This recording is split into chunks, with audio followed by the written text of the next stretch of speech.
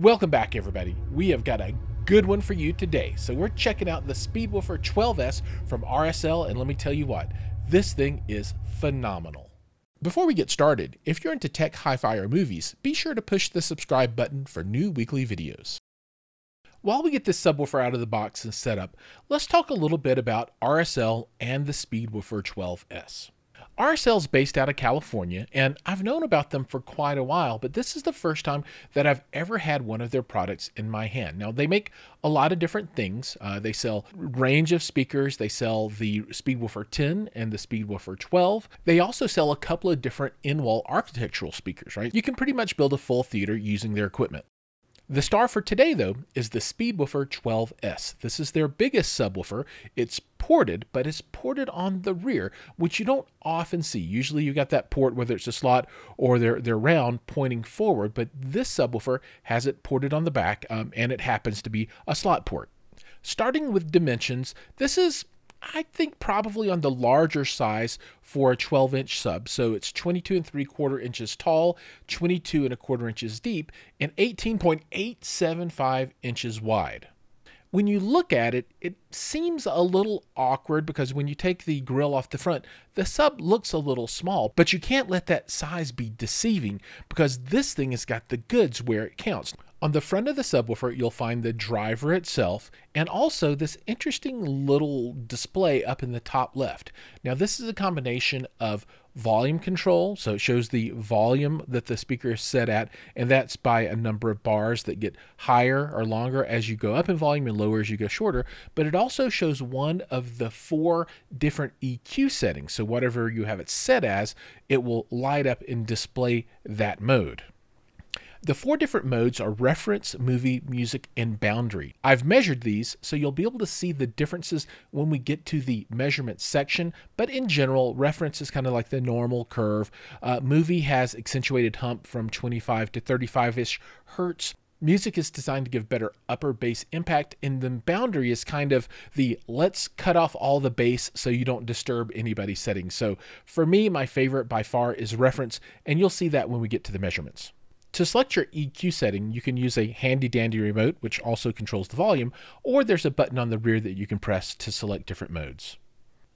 Now let's talk about colors, and I think colors are important because this has a few options that you don't find on other subwoofers. Now, the sub itself comes in either black or white, and there are four different colors for grill options, black, white, and two shades of gray, and that's outstanding because you can really make this color coordinate with your environment.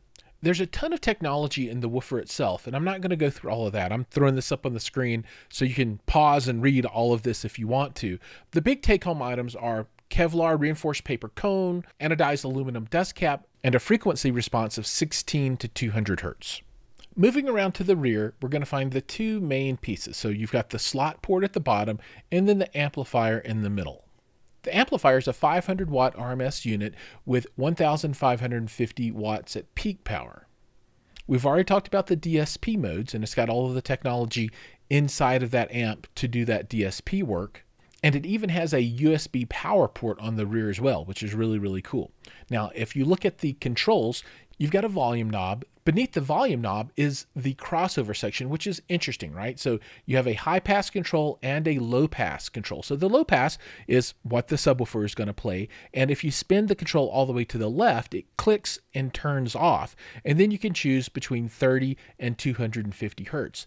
It also has a controllable high pass output. So if you're using the line outs, the RCA line outs, you can select a frequency between 30 and 250 hertz to output there. And what's really nice about this is that it really lets you integrate this subwoofer with mains in a two channel system. That's really, really awesome. Or you can turn the controls all the way to the left, turn them off, and then you use this as a standard kind of subwoofer for a home theater environment with a processor. Beneath that, you've got phase, which is 0 to 180 degrees, uh, your auto power on and off, a set of left right RCA ins, and then a set of left right RCA outs. Now, since this does have that two channel kind of history behind it, it has speaker level inputs, left and right, high level. So you can take amplified input into this subwoofer and then take that amplified out and go to your speaker and grab that bass for use by the subwoofer, which is pretty cool if you're living in two channel world without any upstream DSP. I'm really excited to get my hands on another one of these and test this out in my two channel listening room. I think these would be absolutely superb there. To kick off our measurements for today, let's take a look at the four different DSP modes that this subwoofer has. So the one that I've got pulled up now is reference. And remember, all these dips, this is room related stuff. So this line is actually nice and smooth in an anechoic chamber. Um, but uh, this is the flattest of the curves and it gives you, I believe, the most bass as well. And uh, remember, we're measuring all the way down to 10 hertz here. So this is really, really low. Um, now we'll do the full compression test here in a bit. I'm just showing off the, uh, the different curves at the moment. Now, next is the movie curve. And you can see that uh, it chops off a lot of the low bass and it gives you a little bit of accentuation here around 30-ish hertz down to I guess 25 or so and maybe up to 35 or so. The next is what they call boundary mode and this just neuters the subwoofer, right? So this is I don't want to disturb anybody, so let's turn off all the bass. And then finally, we've got music. And after listening to all of these, for me, I really preferred the uh, that reference mode here in the red, uh, and that's the one that I use to do all of the compression testing. So now let's take a look and see what this thing can do in the room. You know, the first thing I notice here at my baseline measurement is that it's really flat, right? So it gets all the way down to 16 hertz, just like it says in the documentation, before it starts sliding down any, at least in room, and that's with a little bit of room gain. Um, I think uh, at the higher end, it's, you know, it, it rolls off just a little bit as well. But all in all, plus or minus three or four decibels, uh, it looks pretty, pretty solid.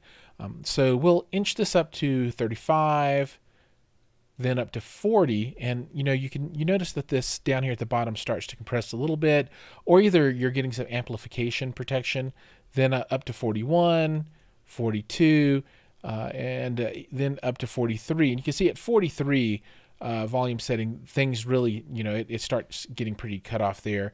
And here's a 46 just to test. And yeah, it, it's not doing anything. So I'm going to say that this line is likely the top before the amplifier says, I'm not really going to deal with anything else. So we're looking at, you know, about 102 decibels uh, at my listening position at the 28 hertz line. And that is just absolutely amazing for a 12 inch sub. Remember, this is a 12 inch subwoofer, right? Uh, it, it doesn't have any rights to be doing what it's doing here. This is pretty darn awesome. Um, you know, you, there are obviously subs that put out more output than this, but as a single 12 at the price point that this is at, it's absolutely stupendous. I mean, I don't think I've ever seen another 12 look quite this good at this price point. So, um, you know, two big thumbs up here for the frequency response on this guy. That this 12S is just amazing. I'm only going to show one demo clip for this subwoofer, and this is the opening to Blade Runner 2049. I think it speaks for itself because this thing is freaking amazing.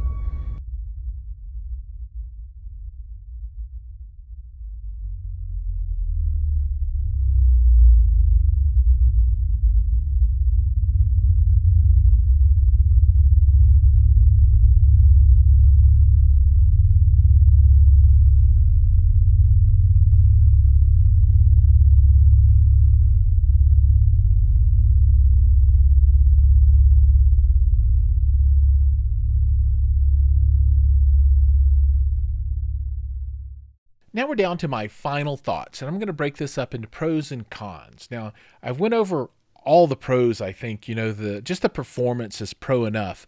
Um, so I'm going to touch on the things that I did not like quite so much.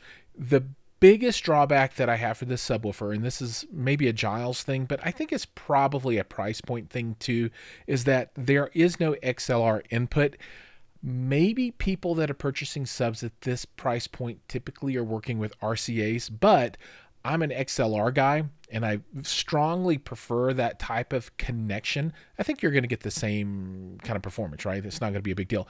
But I really do prefer to use XLRs.